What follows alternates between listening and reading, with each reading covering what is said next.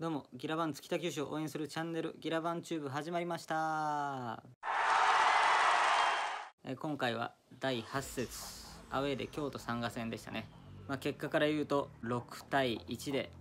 京都に敗れてしまいました、まあ、立ち上がりからもうもう防戦一方でまあ、これはねギラバンツ北九州はもうずっと、まあ、今シーズンはそんな感じが多い気がするんですよね。もう最初立ち上がりからもう結構攻められて攻められて今回はあの前の試合であのキーパーの吉丸選手が怪我をして後半から志村選手という新しいゴールキーパーに変わってで、まあ、この試合どうかなと思ったんですけどやっぱスタメンがその前回交代で入った志村選手がスタメンでで吉丸選手が控えになってたんですけど、まあ、やっぱ試合開始早々京都からガンガン攻められてて最初からビッグセーブでいい入りをしたかなと思います。前半17分ピーター・ウタガ選手に先制点を奪われそれから前半23分前半26分と立て続けに2点3点と奪われました。この試合見てる時にこれもしかしたらもう10点ぐらいいかれるんかなと思いましたけどそしてやっと30分前半30分過ぎぐらいからやっと北九州がちょっと攻めれるようになってきてで結構いい形がだんだんできてきたと思うんですよね。やっぱりそれまでは結構、まあ、パスもつながらずなんかパスも人に人にパスっていう感じがあって30分過ぎぐらいからやっとスペースに出せるようになってきて、まあ、富山選手がスペースに走ったりそういうのがやっとできてきてやっと北九州らしい形が出てきたところで、まあ、前半43分に富山選手が、まあ、今季3点目のゴールということでで、まあ、前半は3対1で折り返しました。でやっぱり3対1で前半の終わりの方は北九州が結構いい形を作れてた作れてたので後半の立ち上がりここで、まあ、もう1点でも先に返せたら結構面白くなるかなと思いましたけど立ち上がりはねちょっといいかなと思ったんですけどその前半の終わりの感じをその雰囲気を持ちつつ後半も入ったと思うんですけど、ま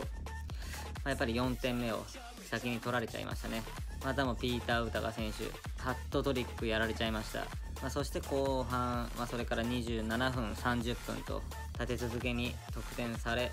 結果6対1いそしてね京都はやっぱり最後まで運動量がすごかったですね、まあ、でもギラバンツも全然諦めてる感じはやっぱなかったんでやっぱギラバンツも最後の最後までやってくれてたんでだからやっぱり最後の、ま、フィニッシュの精度というかフィニッシュ前からの精度と思いますしでこんだけ6対1でもう大敗してるんですけどボール支配率って55%対45%でキラバンツの方がボール支配率は高いんですよね。でもそれって結局自分の陣地でボールをまあまあボールを持たされてるっていう感じと思うんですよ。結局ボールを前に運ぼうとしたところでカットされてそのままショートカウンターみたいな感じでもうガンガンやられてたんで、まあ、結局今回も防戦一方で、まあ、京都も今、まあ、3位ぐらいですかね順位が、ま、京都もねやっぱ J1 を狙えるチームなんで、まあ、仕方ないかもしれませんが、ま、ちょっと6対1はちょっとやられちゃいましたね。6対1で良かったんかな。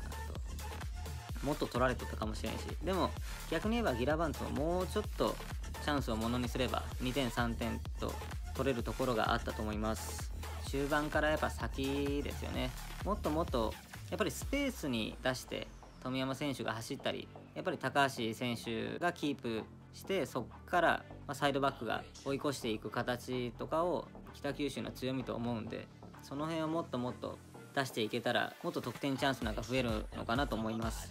まあ、そしてねやっぱり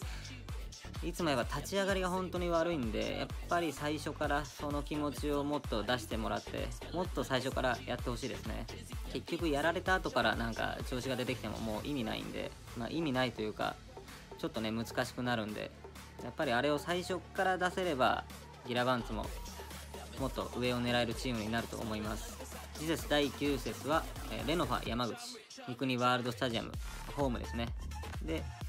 えー、日にちが4月21日の水曜日。久しぶりの久しぶりというか今季初の平日。しかもナイター。でなんかホームの平日ナイターっていうのはこれが最初で最後らしいんですけど平日ナイター7時からキックオフです。山口と北九州関門ダービーと呼ばれてるらしいんですけど、まあ、本当に、まあ、海を隔てて本当隣同士のチームなんで、まあ、今回でギラバンツの順位21位下から2番目に、まで落ちてしまって、まあ、今のところ降格圏 J3 降格圏なんですけどで今勝ち点が7で山口が今16位。でも勝ち点8勝ち点差は1なんで、まあ、次勝てばまた